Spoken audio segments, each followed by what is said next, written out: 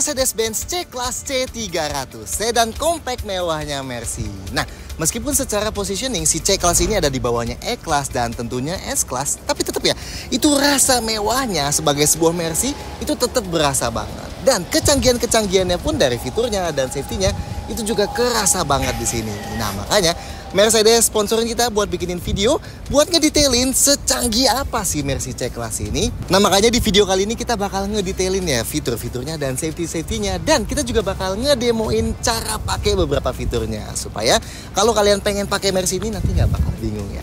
Nah buat detailnya simak di beda fitur Mercy C-Class C300.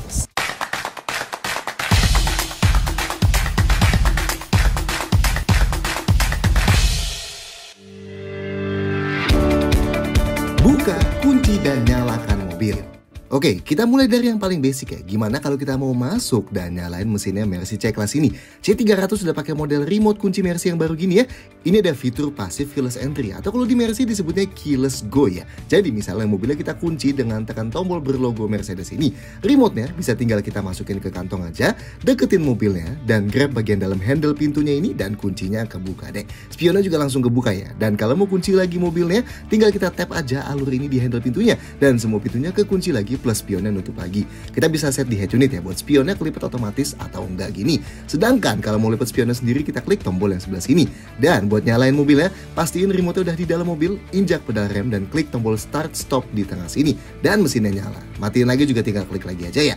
Nah, enaknya di C-Class ini, keyless go-nya nggak cuma bisa di handle pintu driver aja, tapi bisa di semua pintu juga. Jadi kalau kita kantongin remote-nya, kita juga bisa grab bagian pintu belakang sini dan kuncinya bakal kebuka juga ya. Kuncinya lagi pun bisa dari handle sini juga. Nice ya.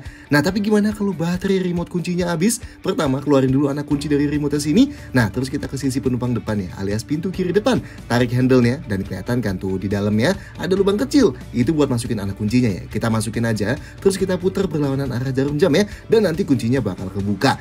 Dan kalau baterai remote-nya habis, kita juga perlu taruh remote-nya ini di tengah sini nih, yang ada logo kuncinya tuh ya, supaya mobilnya bisa mendeteksi remote-nya udah di dalam meskipun baterainya habis. Dan tinggal tekan tombol start stopnya sambil injak pedal rem lagi deh, dan mobilnya bisa nyala lagi. Oh, dan remote ini juga bisa dipakai buat buka semua jendelanya dari luar mobil ya. Kalau kita tekan dan tahan tombol unlock-nya, fungsinya buat buang panas yang ada di dalam mobil. Kalau yang di C300 sunroofnya juga bakal ikut kebuka ya. Sedangkan kalau kita tahan lagi tombol lock-nya, semua jendelanya bakal ketutup lagi. Pengaturan jok Kayak setiap model Mercedes yang dijual di Indonesia sekarang, pengaturan jok depan di C300 ini juga elektrik ya. Dan buat yang belum tahu, posisi tombol buat aturnya ada di pintu sini nih. Yang driver dan penumpang depan sama ya, pengaturannya elektrik 12 arah dan ada tambahan lumbar 4 arah. Nah, bedanya dari C-Class generasi sebelumnya, tombol pengaturan jok C-Class kali ini touch sensitif ya. Jadi kita cukup sentuh aja, nggak perlu didorong keras-keras lagi.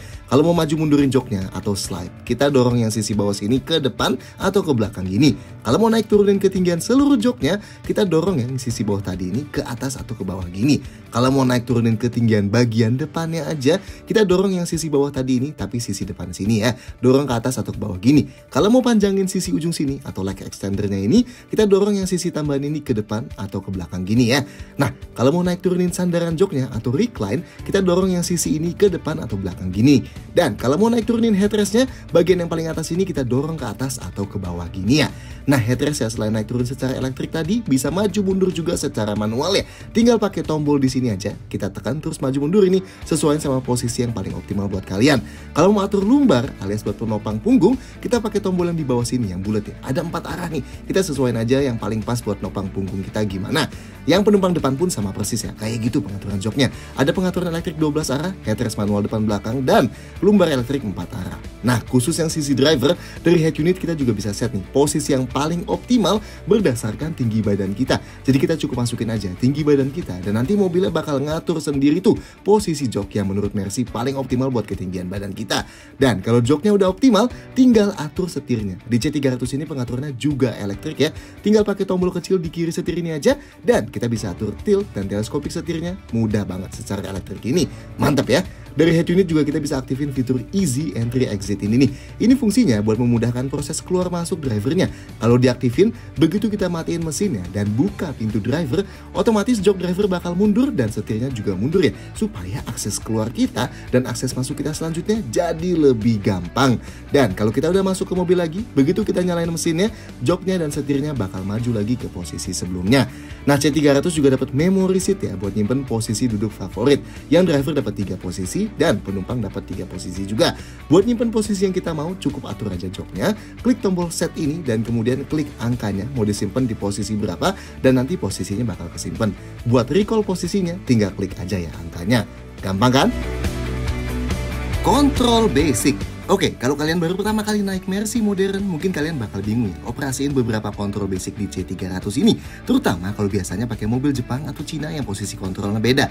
Yang ada di sebelah kanan setir sini bukan tuas lampu ya, ini adalah tuas transmisi. Kita kasih tahu setelah ini cara pakainya. Buat mati nyalain lampu, pakai knop ya, yang ada di kanan dashboard sini. Tinggal kita putar aja sesuai jarumnya itu ya. Tentunya lampunya otomatis ya, jadi kita bisa tinggal taruh di auto aja sebenarnya. Kalau kita geser ke yang P, pas posisi mesinnya lagi nyala, dia bakal matiin di area ya. Sedangkan kalau di posisi ini pas mesinnya lagi mati, bakal aktifin parking lights. Itu kita jelasin lagi nanti. Dan buat aktifin fog lamp belakang tinggal klik tombol yang di bawah ini. Buat kontrol lampu jauh, lampu sein dan wiper semua tergabung di tuas sebelah kiri setir sini ya. Buat lampu sein kayak biasa dinaik turunin aja, sedangkan buat lampu jauh juga biasa ya, tinggal ditarik aja. Nah buat aktifin wipernya, kalau mau wiper sekali bisa klik tombol yang di pinggir ini aja. Kalau mau keluarin washernya, ditekan yang agak lama. Ini ada fungsi auto wipernya ya. Kalau mau nyalain wiper otomatisnya, putar knopnya ke yang titik-titik putus pertama ini. Nah nanti kalau misalnya dia deteksi hujan, bakal otomatis aktif sendiri. Kalau digeser lagi ke titik-titik yang lebih padat, wipernya bakal nyala konstan lebih sering, dan yang garis itu bakal full nyala lebih cepat lagi. Oh iya, wipernya C300 ini nggak bisa langsung kalian angkat dalam posisi standar karena bakal nyangkut di kap mesinnya. Kalau mau dinaikin caranya gini, dari kondisi mobilnya nyala, matiin mesinnya, terus tekan dan tahan tombol wiper ini selama 2-3 detikan. Dan wipernya bakal naik dan berhenti di posisi tengah sini. Nah ini bisa kalian angkat kalau misalnya mau sekedar keringin kaca atau mau ganti karetnya ya. Dan buat turunin lagi jangan lupa turunin dulu, nyalain mesinnya dan klik sekali tombol wipernya tadi. Ganti gigi Kayak yang tadi kita bilang, tuas transmisinya C300 dan nyaris semua Mercy modern lainnya ada di sebelah kanan sini ya. Fungsinya jelas biar ruang di tengah sini lebih kosong dan rapi ya. Dan sekali pakai model tuas di kanan sini, biasanya bakal males balik ke model tuas di tengah lagi sih. Ini tuas elektronik, so setelah kita geser-geser, dia bakal balik ke posisi semula. Oke, cara pakainya. Ingat, tiap mau pindahin dari gigi apa pun ke mana pun, injak pedal remnya dulu ya. Buat maju alias pindahin ke D, cetekin tuasnya sampai mentok ke bawah. Kalau indikator di sini udah ganti ke D, artinya udah masuk D ya. Cara pindahin ke R alias gigi mundur, cetekin tuasnya sampai mentok ke atas, cek indikatornya lagi, jangan lupa. Cara masuk netral dari D, cetekin sedikit ke atas, kalau dari R kebalikannya, cetekin sedikit ke bawah, dan cara masukin ke P, klik tombol kecil yang di ujung kanan itu. Nah, kaset tuas elektronik gini juga, kalau kalian lagi jalan sangat pelan dan tiba-tiba pintu drivernya dibuka, transmisinya bakal secara paksa otomatis pindah ke P. Anyway, C300 pakai transmisi otomatis 9 percepatan 9G Tronic ya. Dan transmisi ini enak banget buat cruising karena jalan di 100 km per jam putaran mesinnya relax banget ya. Cuma di 1200 sampai 1300an RPM di gigi 9. Tenang banget di dalam kabinnya. Kalau mau naik turunin giginya secara manual biar lebih berasa in control, kita bisa pakai pedal shift di belakang setir sini. Tapi dia bakal otomatis balik ke D lagi kalau setelah kita operasikan beberapa detik kemudian kita nggak pencet-pencet lagi. Kalau mau dibuat full manual oper giginya bisa kita set dari head unit sini ya. Habis slide down dari atas tinggal klik manual shifting ini. Rem parkir C300 ini kayak setiap Mercy lainnya tentu pakai rem parkir elektrik atau EPB. Tapi ini biasanya bikin bingung hampir setiap orang yang baru pertama naik Mercy. Karena posisinya dia nggak ada di tengah tuh. Oke, jadi EPB-nya C300 ini posisinya ada di kanan bawah dashboard. Yes, agak ngumpet ya. Dan cara pengoperasiannya juga agak kebalik sama setiap rem parkir elektrik di mobil lain. Di sini kalau kalian tekan ke dalam, rem parkirnya malah aktif ya. Kalau kalian tarik, rem parkirnya non aktif alias jadi bisa jalan. Nah, kenapa kebalik gini? Ini buat ngikutin tradisi rem parkir jadulnya Mercy yang mekanikal kayak gini juga modelnya ya. Dulu juga harus kalian tarik buat nonaktifinnya. Nah tapi sebenarnya tombol di bawah sini nyaris nggak perlu kalian pencet. Karena selama kalian yang di jok driver udah pakai seat belt, rem parkirnya bakal otomatis selalu mati tiap kalian masukin ke gigi D dan kalian injek gas. Dan tiap masukin ke P lagi, rem parkirnya bakal aktif lagi. So sebenarnya nggak perlu nyari-nyariin di mana tuasnya. Hold function C300 kayak setiap Mercy modern juga punya fungsi hold function ya, atau auto hold atau auto brake hold. Pada dasarnya, ini fitur buat nahan rem tanpa kaki kita perlu injak pedal remnya terus-terusan. Bedanya sama kebanyakan mobil, hold function di C300 ini dan di kebanyakan Mercy itu nggak ada tombol dedicatednya. Jadi kemungkinan besar kalian yang udah punya Mercy pun mungkin belum tahu ya punya fitur ini.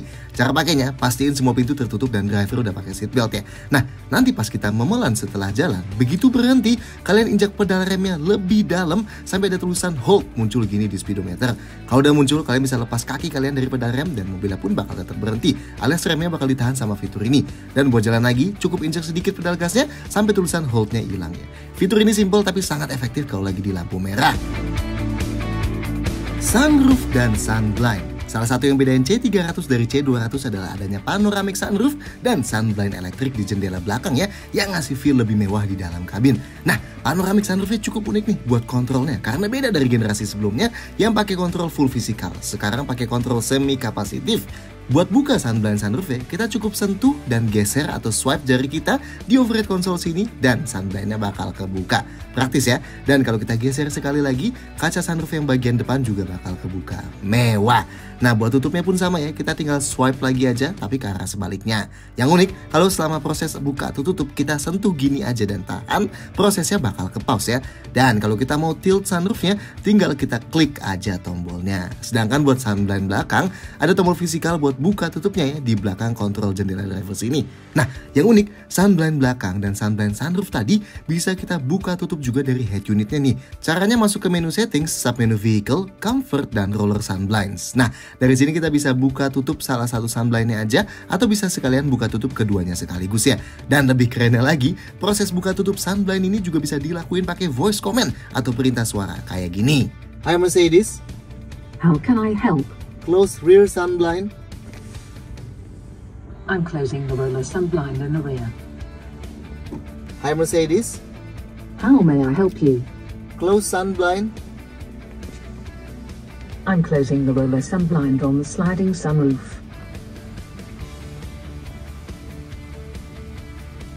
Hi Mercedes. How may I help you? Close all sunblinds. I'm closing the roller sunblinds. Canggih ya? Oh, dan selain sunblind belakang, C300 juga dapat privacy blind gini di jendela kiri dan kanan belakang yang bisa kita naik turunin secara manual buat namain privasi penumpang belakangnya. Nice! Input device Oke, kalau mau charge-charge device-device kita bisa di mana aja. Pertama, C300 ini dapat wireless charger ya di dalam laci tengah depan sini. Jadi HP yang kompatibel dengan C standar tinggal ditaruh aja dan bakal ke charge. Dan misalnya kita matiin mesin mobilnya dan HP kita masih di dalam situ, bakal diingetin ya di head unit supaya nggak ketinggalan HP-nya. Di laci depan juga ada satu USB port Type-C yang agak tersembunyi. Di bawah laci dashboard depan ada power outlet 12 volt ya buat yang mau pakai colokan lebih konvensional. Dan di dalam laci konsol tengah ada dua USB port Type-C lagi. Jadi harusnya cukup lah ya. Penumpang semobil kalau mau charge device masing-masing bisa. Ambient lighting Bagian ini termasuk yang nandain tingkat kemewahan dan kecanggihan C-Class ini dibanding kebanyakan mobil-mobil modern lainnya ya. Ambient lighting yang luar biasa banyak. Bukan cuma lampu-lampu di sekujur interiornya ini kelihatan kalau di siang hari, tapi kalau di malam hari jadi gini nih. Wow, luar biasa terangnya di dalam sini. Setiap lekukan-lekukan dashboard dan pintunya jadi tetap kelihatan ya dan lebih indah lagi. Dan menurut kita, masuk ke kabinet C-Class ini di malam hari jadi salah satu cara terbaik buat mengapresiasi kemewahannya karena dibalutin banyak banget ambient light ini ya. Yes, bahkan sampai overhead konsolnya, kolong kaki depan, kolong kaki belakang dan pintu belakang pun masih ada ambient light ini. Super nice. Nah, dari head unitnya kita bisa ganti nih warna ambient lightnya ke 64 pilihan warna yang beda kayak gini. Jadi bisa sesuai selera ya. Atau bisa juga pilih yang multicolor buat ngasih kombinasi lebih dari satu warna yang udah pre-configured sama Mercy ya. Oke juga nih pilihan-pilihannya. Tingkat keterangan ambient lightnya pun bisa kita ubah semuanya atau dipecah-pecah. Dan ada beberapa efek. Misalnya, warning when exiting ini bakal kedipin ambient light di pintu jadi merah kalau pas kita mau keluar ada objek mendekat dari belakang. Atau climate ini bisa bikin salah satu sisi berubah warna pas kita naik atau turunin temperatur AC-nya. Kalau kita naikin jadi merah dan kalau diturunin jadi biru. Keren ya?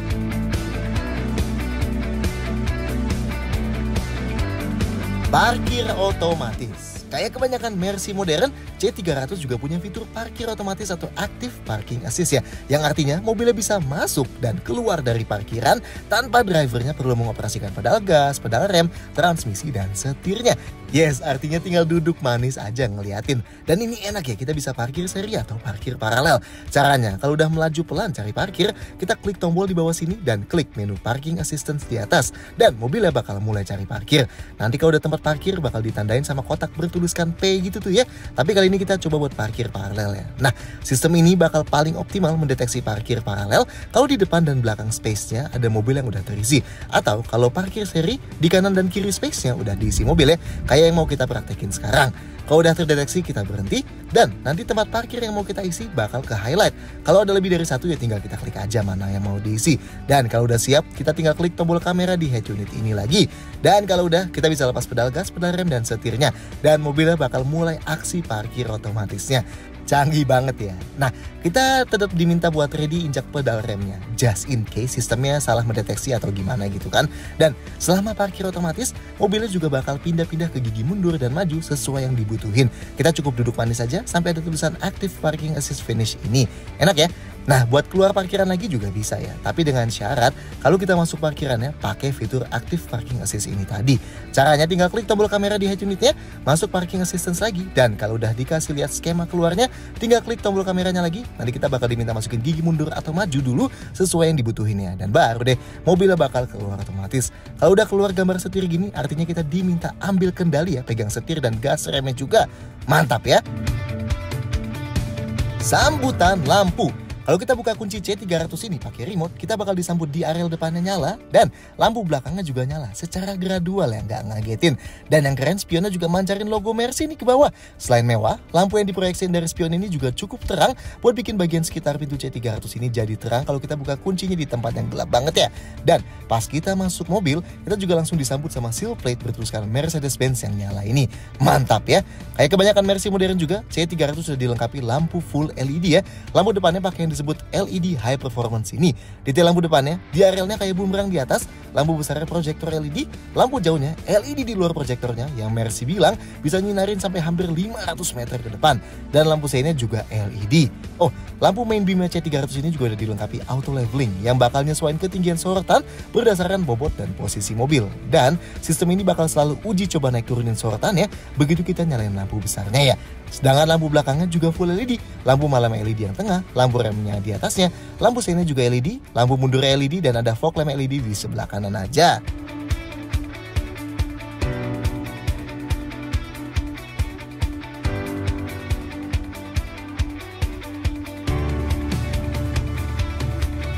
Parking lights Kayak kebanyakan mobil Eropa, Mercy C300 ini tentunya ada parking lights ya. Itu loh yang kenop di kontrol lampu ada huruf P dan tanda panah ke kiri kanan tadi. Nah, itu disebutnya parking lights. Kalau kalian udah matiin mesin mobilnya dan kalian putar tuasnya ke tanda panah yang kiri, mobilnya bakal nyalain lampu alis sisi sebelah kirinya doang, depan dan belakang, sampai kalian nyalain mobilnya lagi. Kalau diputar ke tanda panah yang kanan, alis lampu kanannya bakal nyala sampai nyalain mesin mobilnya lagi. Fungsinya apa? Jadi kalau kalian lagi parkir di pinggir jalan yang gelap, supaya orang-orang tetap bisa bisa ngeliat ujung mobil kalian, misalnya kalian parkir di sisi kiri nih, nyalain parking lights yang kanan supaya nggak ketabrak mobil sebelah kanannya. Fitur ini luar biasa penting di Eropa ya, karena sangat umum di sana buat parkir di pinggir jalan. Dan sebenarnya di Indonesia juga cukup penting sih ya, mengingat banyak yang parkir di pinggir jalan juga kan. Dan tenang, ini dirancang buat tetap nyala seharian tanpa ngehabisin baterai mobilnya ya. Parking lights ini bakal mati lagi begitu kalian masuk mobilnya dan nyalain mesinnya ya. Auto dimming mirror Kayak kebanyakan mobil mewah juga, spion tengahnya C300 ini selain modelnya mewah, frameless gini, ada juga fitur auto dimming ya, yang artinya pakai kaca elektrokromatik gini yang bisa menggelap otomatis begitu kena silau dari belakang kayak gini. Fungsinya jelas jadi kalau di malam hari, misalnya kita kena silau dari lampu mobil belakang, kita nggak perlu cetak-cetakin spionnya ya. Yang keren di C-Class baru ini juga auto dimmingnya bukan cuma spion tengahnya aja, tapi spion yang sisi driver juga auto dimming loh. Keren ya? Sensor parkir dan kamera. C300 dilengkapi 6 sensor parkir belakang yang terintegrasi dan 6 sensor parkir depan yang terintegrasi. Dan kita bakal dikasih indikatornya lengkap di tampilan kamera ini ya. Ketika udah deket sama objek di belakang dia bakal jadi warna merah ya dan kelihatan bakal kayak mau nabrak gini. Ini bisa kita matiin di menu function ya yang Parktronic ini. Dan yang unik di setting Parktronicnya kita bisa set sekenceng apa bunyi sensornya dan pitchnya mau seberapa tinggi kayak gini nih.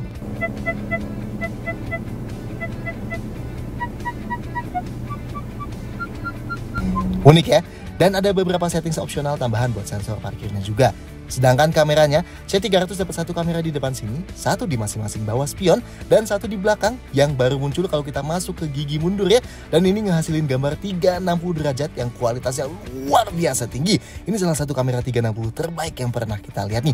Gambarnya jernih banget. Pertama tentu garisnya bakal belok pas kita putar setirnya. Dan pas kita masuk gigi D, dia juga bakal nunjukin sisi depan yang masih nunjukin garisnya juga nih ya. Nah, pilihan angle-nya juga luar biasa banyak ya. Tapi yang keren ada angle 3 per 4 belakang kiri dan kanan yang ketiga dimensian gini. Ini berguna banget kalau kita pengen lihat kira-kira velgnya bakal gasur atau enggak ya. Atau bisa juga buat pasin garis parkir ya. Dan ada mode auto. Ini bakal ngubah-ngubah sendiri angle kameranya yang menurut mobilnya paling optimal. Misalnya pas kita mulai mendekat sama objek depan, kita bakal dikasih tampilan top down kayak gini. Termasuk detail depan dan belakangnya segala. Dan pas menjauh lagi, kameranya pun bakal menjauh juga. Dan di mode 3D ini, kameranya bebas ya. Bisa kalian puter-puter atau bisa di zoom in, zoom out gini. Dan coba lihat, senyata itu ya gambarnya. Kayak ada kamera drone yang ngitarin mobilnya beneran. Nah, ada menu GPS position save juga. Ini misalnya kita sampai depan rumah kita dan posisinya kita save ya dari sini. Nanti tiap kita sampai depan rumah kita, sistem kameranya bakal selalu aktif ya. Mantap. Buat hapus lagi titik-titik GPS yang udah kita save bisa dari setting sini ya. Dan kalau mau keluarin kamera belakang tanpa masukin gigi mundur juga bisa dari open camera cover ini. Instrumen cluster. C300 pakai instrumen cluster full digital 12,3 inci ya. Gede banget. Biar nggak bingung, indikator gigi dan drive mode ada di paling kanan bawah.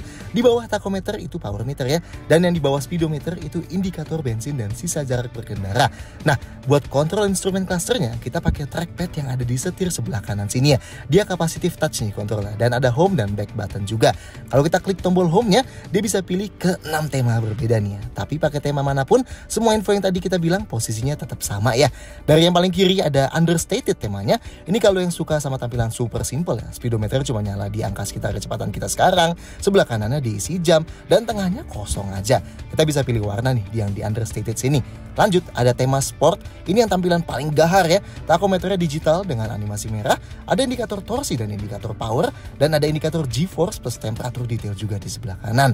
Lanjut tema klasik. Ini yang paling umum ya. Tengahnya bisa diganti ada trimeter, detail konsumsi from start dan from reset, layar eco, konsumsi real time, attention assist, media dan navigasi. Lanjut, geser lagi ada tema navigasi. Ini bakal nampilin map full screen ya. Dan keren tuh, gedung-gedungnya juga ditampilin secara tiga dimensi. Jadi kita nggak perlu nengok ke tengah lagi ya kalau pakai tema ini. Geser lagi ada tema assistance. Ini bakal kepake kalau kita lagi aktifin fitur-fitur safety assist-nya. Dan terakhir, tema service. Ini bakal nunjukin hal-hal kayak tekanan dan temperatur setiap bannya, berapa kilometer lagi sampai service, engine oil level, dan temperatur coolant-nya.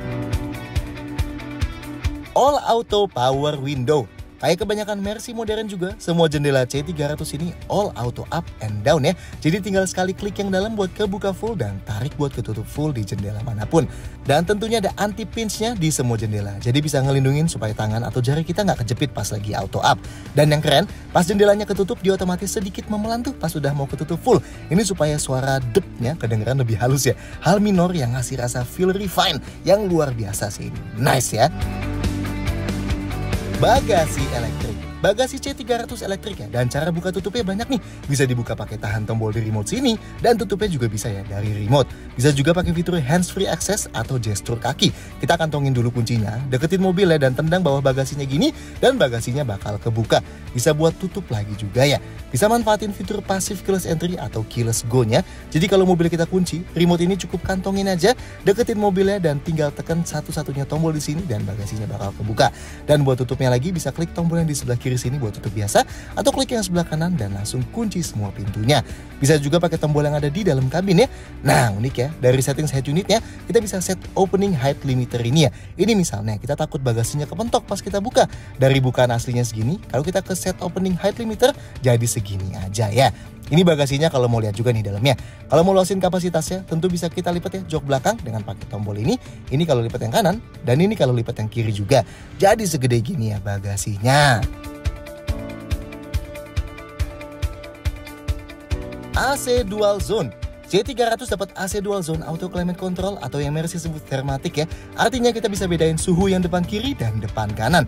Dan karena otomatis, jadi kita tinggal set aja suhunya berapa dan nanti kecepatan kipasnya bakal menyesuaikan. Dan seberapa cepat kipasnya menyesuaikan juga bisa kita set nih, mau autonya seberapa ya.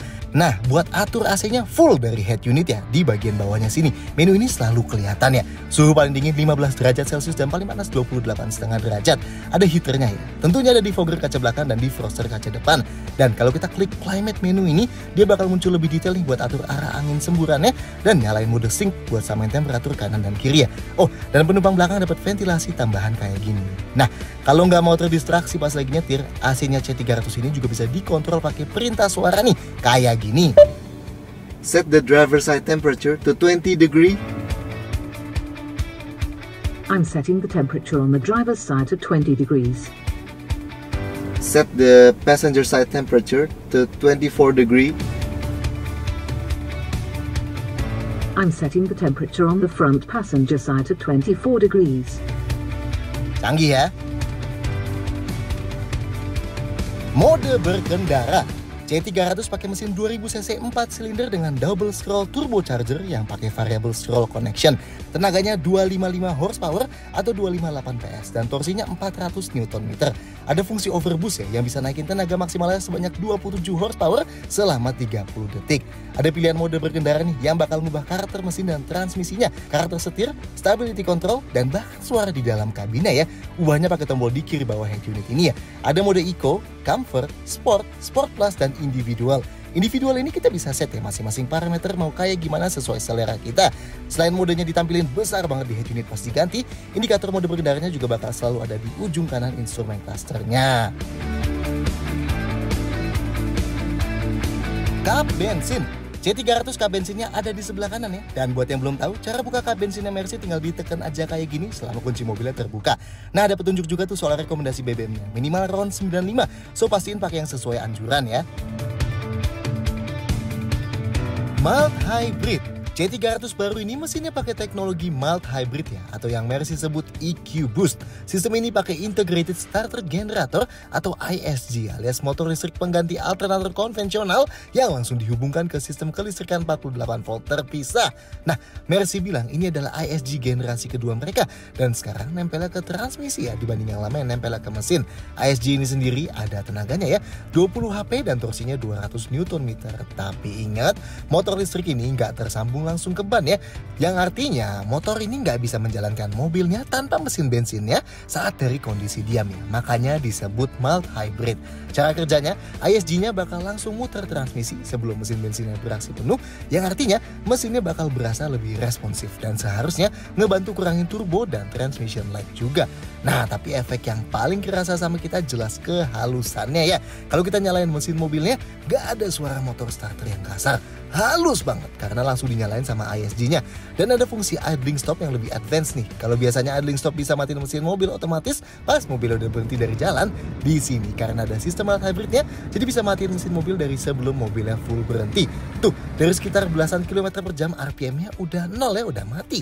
Dan ini efeknya pas kita memelan kerasa sangat halus dan mesin nyalanya lagi pun halus banget juga. Kalau nggak mau pakai fungsi idling stop ini, sistemnya bisa dimatiin pakai tombol yang di bawah engine start stop ini ya. Ada fungsi gliding juga ya kalau kita pakai mode berkendara eco. Jadi pas jalan di atas 40-an km per jam, pas kita lepas pedal gasnya, mesinnya bakal mati dan mobilnya hanya dijalankan oleh motor listriknya aja. Tentunya mesinnya bakal nyala lagi pas kita injek pedal gasnya ya, dan feel-nya pun halus banget. Safety Assist Selain fitur safety standar kayak rem depan cakram ventilasi cross drill, rem belakang cakram ventilasi standar, 7 airbag, stability control yang buat nonaktif ini ada dari head unit sini, C300 juga ada fitur safety assist ya. Pertama, ada Active Brake Assist. Fitur ini bisa deteksi kalau ada kemungkinan menabrak dengan mobil depan atau pejalan kaki di depan kita ya. Dan kalau baru ada kemungkinan nabrak nanti kita bakal dikasih peringatan merah gini nih di speedometernya. Nah kalau udah muncul peringatan dan kita injak pedal remnya, nanti bakal diaplikasikan tekanan rem yang paling optimal sesuai kondisi. Misalnya kita injeknya terlalu lemah gitu, sistemnya bakal aplikasiin rem yang lebih kuat supaya terhindar dari tabrakannya. Dan kalau udah dikasih peringatan dan gak kita gubris juga, mobilnya bakal ngerem secara otomatis ya supaya terhindar dari tabrakan. Fitur ini bisa kita matiin dari head unit ya, dan sensitivitas kapan dikasih peringatannya pun bisa di set. Ada blind spot assist juga yang fungsinya cukup banyak nih. Pertama, fitur ini bisa nyalain indikator merah ini di spion kalau terdeteksi ada objek di sisi 3 per 4 belakang kita atau di sisi blind spot ya. Dan kalau indikatornya udah nyala dan kita tetap nyalain lampu sen karas itu, indikatornya bakal berkedip dan dikasih bunyi peringatan. Ada fungsi rear cross traffic juga, jadi kalau kita lagi mundur dan ada objek mendekat dari belakang, kita bakal dikasih peringatan di head unitnya dari sisi mana ada objek mendekat. Dan kalau udah dikasih peringatan tapi kita tetap mundur juga, sistemnya bakal ngeremin mobilnya. Dan ada fungsi exit warning juga ya. Misalnya kita udah berhenti dan pengen keluar dari mobil, tapi ada objek mendekat dari belakang. Nah, indikator di spionnya bakal langsung berkedip dan kalau kita buka pintunya juga, Ambient light di pintunya bakal langsung berkedip merah dan ngasih suara peringatannya. Keseluruhan fungsi blind spot assist ini bisa dimati nyalain dari head unit sini ya. Dan ada fitur active lane keeping assist. Fitur ini bakal mendeteksi garis pembatas lajur di kiri dan kanan mulai dari kecepatan 60 km per jam. Dan bisa mendeteksi kalau kita udah mau keluar lajur tanpa ngasih lampu sein. Kalau bakal keluar lajur dengan garis yang solid, mobilnya bakal aplikasiin rem di sisi ban sebaliknya supaya mobilnya gerak kembali ke lajurnya lagi ya. Dan kalau bakal keluar lajur garisnya putus-putus, setirnya bakal digeterin supaya kita sadar dan gerakin setirnya ke dalam lajur lagi. Fitur ini juga bisa dimati nyalain dari head unit ya, yang dari quick function sini atau dari setting sini. Dan bisa diatur juga mau sesensitif apa operasinya. Dan bisa aktifin advanced support biar bisa bereaksi ke garis putus-putus tadi. Mantap ya. Sebenarnya ada fitur tambahan juga, kayak attention assist yang bisa mendeteksi kalau setelah perjalanan panjang ada tanda-tanda cara berkendaranya capek, misalnya kita meleng-meleng gitu ya dan nanti bakal dikasih peringatan. Ada juga cruise control yang bisa set kecepatan konstan dan speed limiter yang bisa membatasi kecepatan maksimum. Keduanya bisa diaktifin dari setir sebelah kanan sini ya. Head unit canggih dan fitur terakhir yang bakal kita bahas di video ini head unitnya. Pas kita tutup pintu dan nyalain mesin, bakal disambut gini nih sama head unit dan instrumen clusternya. C300 sekarang pakai head unit raksasa gini di tengah ya, yang berukuran 11,9 inci. Tapi karena bentuknya cenderung mengotak, makanya kerasanya gede banget ya. Ini layar sentuh dan bisa multi touch juga ya, dan bisa dikontrol pakai kontrol kapasitif di setir sebelah kiri sini ya. Sedangkan kalau mau atur volume, voice command dan fungsi teleponi bisa pakai tombol yang di setir kiri bawah. Di bawah layar head unitnya juga ada beberapa fungsi push alias yang bisa ditekan gini dari tombol drive mode, parking assist, vehicle settings, on off, dan volume yang bisa kita slide kayak gini nih volumenya ya. Oke, isi head unitnya. Home-nya buat selalu balik ke home screen ada di tengah-tengah gini ya. Sedangkan kalau mau next atau previous track pas dengerin lagu pakai yang di sebelahnya. Dan ini bisa kita swipe down dari atas buat akses beberapa menu favorit atau vehicle fungsi yang krusial ya. Nah, fungsi-fungsi ini ada buat mati nyalain stability control, Matiin nyalain car wash mode yang fungsinya buat lipat spion, tutup semua jendela dan sunroof, matiin sensor parkir dan matiin wiper otomatis ya buat masuk ke cuci mobil otomatis ya. Ada manual shifting, ada buat mati nyalain sensor parkir, ada buat mati nyalain active lane keeping assistnya, dan bisa buat masuk ke settings full juga. Nah lanjut ada navigasi bawaan nih. Yang kerennya ada beberapa property maps yang jadi tiga dimensi Dan detail banget ya. Kita bisa zoom in, zoom out dengan halus. Dan tampilannya juga detail banget. Nice ya Lanjut menu settings kita skip dulu ya. Masuk ke menu comfort, isinya ada settings ambient light. Ini udah kita jelasin detail tadi ya. Dan ada setting seat. Nah, ini unik nih. Ada yang disebut seat kinetics. Ini buat jok penumpang depan dan driver ya. Fungsinya sejenis kursi pijat tapi tanpa komponen khusus pijat di dalam joknya. Jadi, dia hanya memanfaatkan gerakan elektrik joknya. Misalnya di slide maju mundur pelan-pelan dan recline-nya gerak perlahan. Dan gerakan-gerakan super kecil ini bisa ngebuat driver atau penumpang depannya ngerasa lebih seger ya buat waktu yang lebih panjang. Dan ada position seat automatically ini, ini buat atur jok driver sesuai tinggi badannya tadi ya. Lanjut, menu phone ini buat Bluetooth teleponi yang kerennya di sini bisa langsung nyambungin dua Bluetooth HP sekaligus. Ada radio yang ada art covernya ya, media yang bisa muter lagu dari Bluetooth dan USB. Nah, menu info ini unik ya. Pertama ada consumption. Ini nunjukin grafik konsumsi BBM kita dari hingga 3 jam yang lalu secara detail banget ya. Nah di sub menu vehicle dikasih lihat nih persentase kita yang pedal gas, pedal rem, sudut belokin ban depan, dan bahkan sudut kemiringan mobilnya juga. Dan kalau kita masuk ke mode sport, dia bakal nunjukin grafik G-Force juga ya. Dan di sub menu engine dikasih lihat grafik torsi dan tenaga real time, tekanan turbo, temperatur mesin, dan temperatur oli. Nice ya. Lanjut, head unit ini bisa koneksiin Apple CarPlay dan Android Auto secara wireless ya, alias nggak perlu pakai kabel. Dan karena head unitnya gede dengan rasio mengotak gini, tampilan CarPlay-nya jadi kayak gede banget ya. Nice ya, jadi pakai Apple Music, Spotify, Google Maps atau Waze-nya bakal enak ya. Dan terakhir settingsnya, dari menu assistance di sub menu collision avoidance yang isinya ada buat atur stability control, rem otomatis, lane keeping assist, dan blind spot assist. Sub menu assistance ada buat mati nyalain attention assist, sub menu kamera buat atur yang GPS based activation yang udah kita jelasin tadi, dan buat buka cover kameranya. Dan sub menu parking buat atur perintilan sensor parkir tadi ya.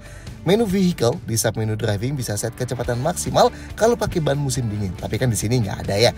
Mati nyalain manual shifting kayak yang di quick access bisa aktifin ini nih buat otomatis dicariin pom bensin terdekat kalau bensin kita udah mau habis.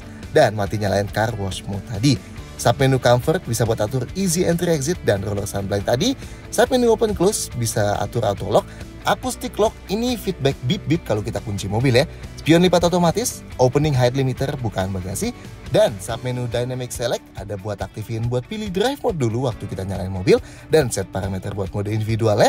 Menu lights ada buat atur locator lighting atau welcome light dan follow me home dan atur ambient light. Sisa settingsnya lebih sederhana sih, kayak bisa ubah tampilan utama menunya dari yang kayak gini jadi kayak gini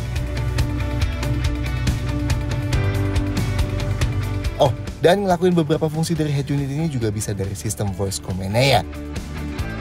So gimana cancel Mercy C300 ini. Silahkan sampaikan komentar di bawah. Klik like dan jangan lupa subscribe channel YouTube kami video-video kayak gini See you next time